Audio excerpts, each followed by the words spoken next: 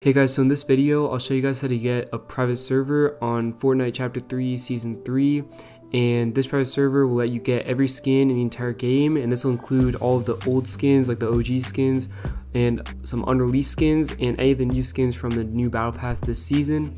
And you can also join your friends lobbies with this private server and it'll let you show all these skins unreleased skins and new skins to your friends in the lobby and they'll be able to see them so to get this private server, just join Sway's server. I'll have the link for this in the description.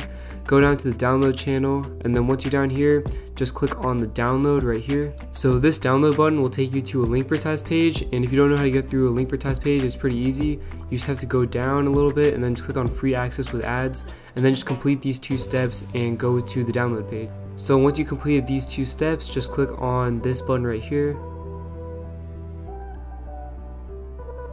and this is going to take you to this page. So before you click on the download button over here, you might want to turn off your antivirus on your computer because it might detect this as a virus, but it's actually not a virus. So after you download this, you can turn the antivirus back on, but for now, just leave it off and click on the download button. And now once it downloads, it should appear like this. It should be a zip file.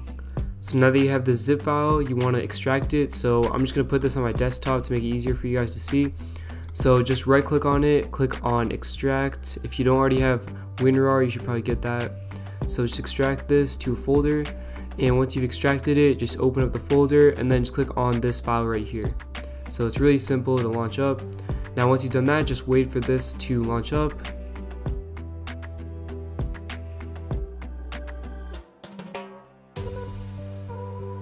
So once Fortnite launches up, it should look like this. So if you go to your locker, you can change any skin that you want. So you can become any skin in the entire game.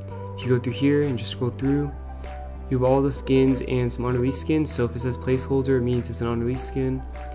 And then you also get all the skins from Chapter 3, Season 3. So if you just look up Chapter 3, Season 3, you can see all the skins from this current season and you can equip any of these that you want.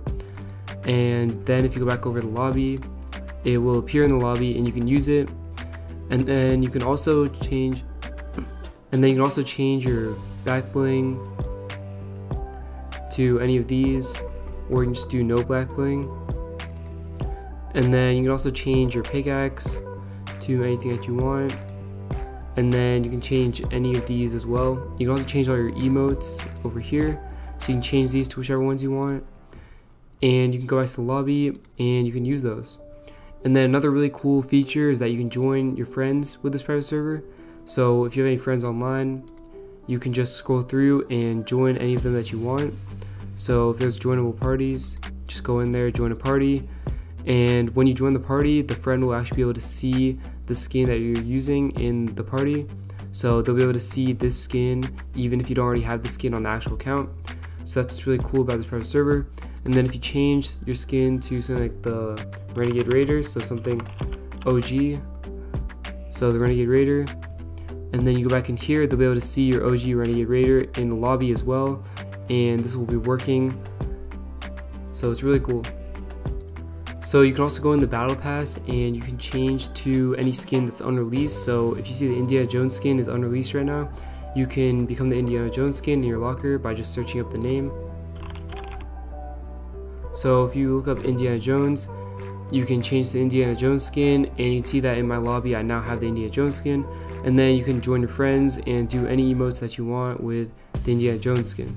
So once you exit the private server, in order to play normal Fortnite again, just wait for Fortnite to verify to 100% and they'll be able to launch it up and play normal Fortnite outside the private server. So thank you guys so much for watching this video. If you enjoyed it, make sure to leave a like and subscribe for more videos just like this one. And I'll see you guys in the next video.